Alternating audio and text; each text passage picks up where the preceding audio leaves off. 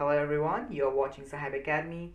If you like our videos then please subscribe to our channel and also hit the bell icon for the regular updates and also follow us on Instagram Saheb Academy. Now let's go to the video. Hi everyone. In this video we are going to start this new chapter called as Valuation of Goodwill.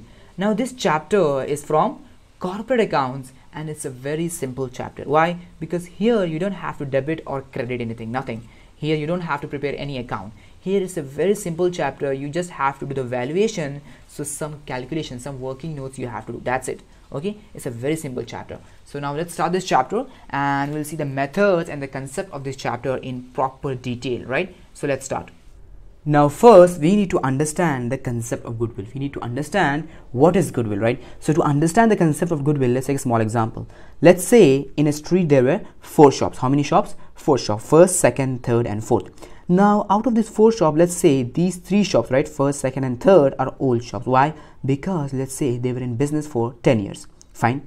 And this fourth shop let's say this is a new shop because it has been in business only for a year. It was open just a year ago right? Now let's talk about the profits earned by each of these shops.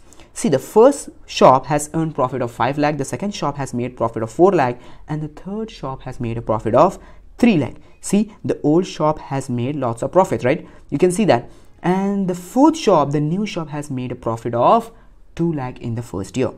Now the profit that is made by the new firm or the new shop it is called normal profit right? It is called normal profit. Now we'll discuss about the normal profit later in the videos right? But here for an example let's say that this shop has earned profit of 2 lakh and this profit is called as normal profit. Fine and if we draw a cutoff line here right if we draw a cutoff line on this 2 lakh then we can see that these three old shops has earned what?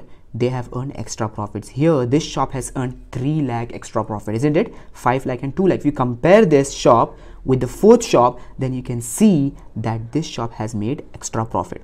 Same with the second shop also. The second shop has also earned extra profit right? Extra profit over the normal profit. Yes the profit made by the new business by the new shop. And the third shop has made profit of 3 lakh and it has also made an extra profit of 1 lakh over the normal profit. Yes they have all made extra extra profit.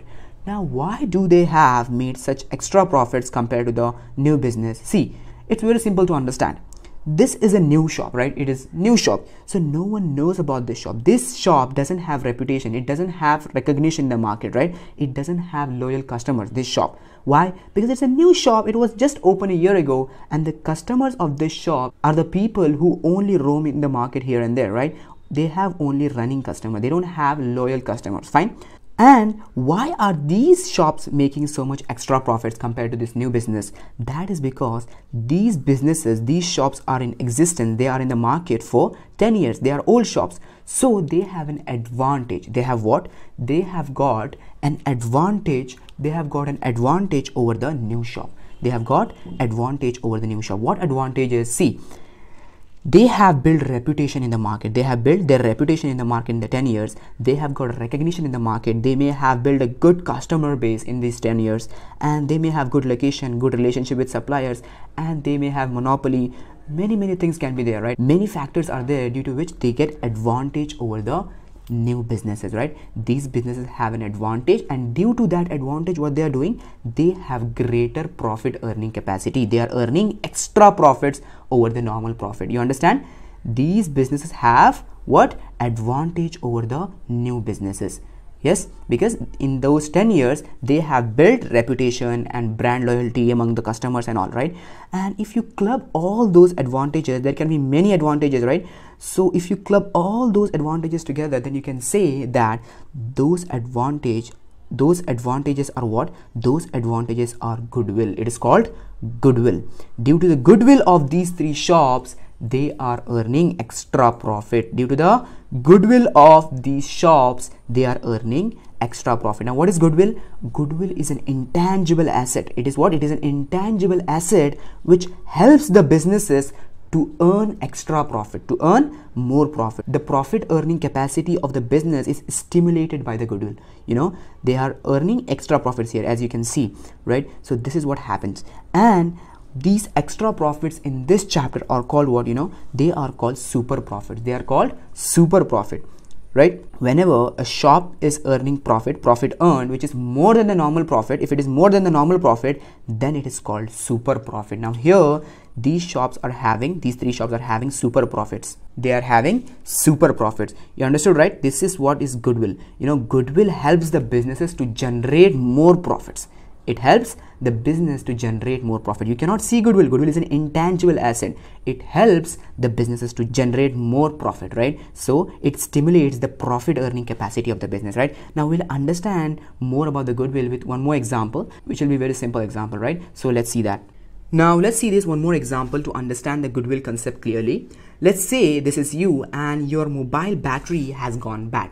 It doesn't charge over 5%. Okay, let's say your mobile battery has gone bad. So you are thinking about getting it replaced. Fine. So what you did was you went to your friend and asked him, hey do you know any shop in the market which is very good in replacing the batteries of my phone right my company's phone so your friend said see i will suggest you to go to only one shop that i know of right and I am a customer of that shop called a smart GSM. So go to this shop only. Now you ask, see, why are you suggesting me to go to only this shop? Why not Mobile Town Cellular and other shops which are there in the same market? See, your friend said, see, I personally have experience in this shop and I'm giving you the guarantee that here you will get the authentic and genuine batteries. And the technician of this shop are very qualified and they are very trained. So you must go to this shop rather than going to Mobile Town or Cellular so now you can see here this shop has what? This shop has a reputation. It has got recognition and it has got what? It has got so many advantages over mobile town and cellular shop. Yes it has got good technicians good quality product. It has got authentic batteries genuine batteries. So that is why there is a loyalty with their customers. So the customer of the smart gsm aka your friend is suggesting you to go to only this shop so this is what is goodwill.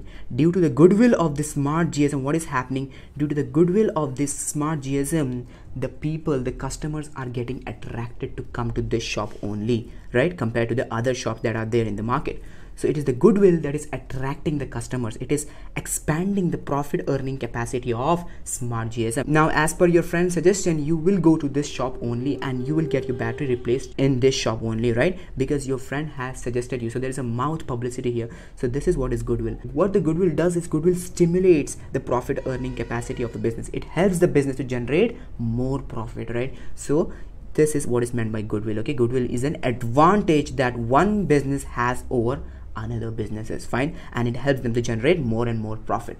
Fine you understood right? What is goodwill? Right now let's see the methods of goodwill methods of valuation of goodwill. Now before going to the methods of valuation of goodwill first let's see different types of goodwill. Now here we have two types of goodwill. First is purchased goodwill and the second is self-generated goodwill. Now what is self-generated goodwill? Self-generated goodwill means the goodwill which is generated by the business itself over the period of time over the period of time the business will have loyal customers. It will build its own reputation and it, will get recognition in the market right? So that is the goodwill self generated by the business. And this self generated goodwill is not recognized in accounting according to the accounting standards. Fine. And it is not shown in the balance sheet. Fine. Self generated goodwill is not recognized and it is not shown in the balance sheet. Whereas the purchase goodwill is recognized according to the accounting standard 26 and it is shown in the balance sheet. You have to show the you have to show the goodwill in the balance sheet at the cost price. Fine. But now what is purchase goodwill? See purchase goodwill means whenever you purchase or acquire the business then you will purchase the goodwill along with it. You will purchase the goodwill of that business along with it. And then in your new company or in your new business you have to recognize that you have to show that in the balance sheet of that new business. Fine. So we'll understand more regarding this more regarding purchase goodwill right? Let's take an example. Now let's take this example to understand more about the purchase goodwill. Let's say this is you and let's say you want to purchase a very good profitable business in mumbai right? And let's say this business is in very prime location of mumbai okay? Prime location of mumbai and it's a very good profitable business. And let's say this is the owner and let's say you made a deal with the owner that you are going to purchase this business for 30 lakhs rupees. So the purchase consideration between you and the owner was decided to be 30 lakhs rupees. For 30 lakhs rupees you are going to purchase his business. Fine. And let's say the net physical assets of this business are of 10 lakhs rupees. How much 10 lakhs rupees. But you are paying how much? You are paying 30 lakhs rupees. You are paying 30 lakhs rupees. Now you are paying 20 lakhs extra to this person isn't it? You are paying how much extra? You are paying 20 lakhs extra. Now why are you paying 20 lakhs extra? Because the owner will not sell his business until and unless you pay him something extra. And that extra payment is a loss for you and that is called goodwill. You are making goodwill payment to the owner. You are purchasing the goodwill of this business isn't it? This owner has built reputation of this business over the years. This owner has put so much efforts in building the brand of this business and building the reputation and getting this business recognition in the market. So for all that for all that you have to pay him 20 lakhs extra right? Because this is a profitable business. This is profit making business. In the past in the past yeah in the past it is making profits. In the year of 2016 it has made profit. In 2017 also profit. 2018 also profit. So there is a good chance that in the coming years also this business will be making this business will be making profits in the future right? So if this person sells you if this person sells you his business to you then the future profit will not come to him. The future profit will go to you right? You will get the future profits. He will not get the future profit because you are purchasing his business in the year of 2019 so he will be losing this owner this previous owner will be losing the previous profits. So now he the previous owner will only sell his business if he gets some extra payment. That is why you are making a payment of 20 lakhs extra to the owner because of the goodwill of that business. Because of the goodwill of that business what will happen? Because of the goodwill of that business in the future also there will be profit. In the future also there will be profit. Yes? Now how can you say that this business has goodwill? This business has goodwill because in the past it has been making profits. It has good recognition in the market due to that recognition due to that brand only it has made profits in the past. So there is a good chance that in the future also it will be making profit.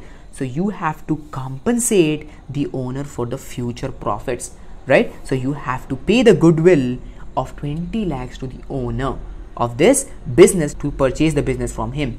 Otherwise otherwise this owner will not sell his business. Now tell me if you have a very good profit making business will you sell it? No of course not. Unless and until unless and until you are very good compensated right? Unless and until you get compensation for the future profit that you may get if you didn't sell your business. So that is the thing you know. No one sells their profit making business unless and until they get extra money from the purchaser. Fine? So this is the concept of purchase goodwill. Now here we have the different methods of valuation of goodwill See the first method we have is the average profit method and the second we have super profit method and the third we have capitalization method and the last and fourth we have annuity method. Fine. Now in this video we are not going to see the formulas of each and every different methods. Why is that? Because if we see the formulas now all together then you will say see this chapter is very difficult because it has got lots of formulas right but believe me this is very simple chapter. If you understand average profit method then if you make certain changes to it then you will get super profit method. And if you improve these two methods then you will get capitalization method okay and annuity method is very simple. Very very simple. So it's very easy. Okay so we'll not see the formulas now. In the coming videos we will solve one by one each of the methods and then we'll see practically in the problems each of these methods. Okay and i have to tell you that in average profit method we have simple average and weighted average. If there is some trend if the profit is increasing or decreasing then you have to use the weighted average and simple average is there. Okay so we'll see all that later okay while solving the problem. And then in capitalization method also here also we capitalize the profits. Either we capitalize average profit or we capitalize the super profit and then we find out the goodwill right? So there is capitalization of average profit and there is capitalization of super profit. And then we have annuity method right? So these are very simple methods as we will solve the problem you will see how simple they are right? So now in the next video we will solve average profit method and then super profit method also okay? And then we'll go on solving more and more problems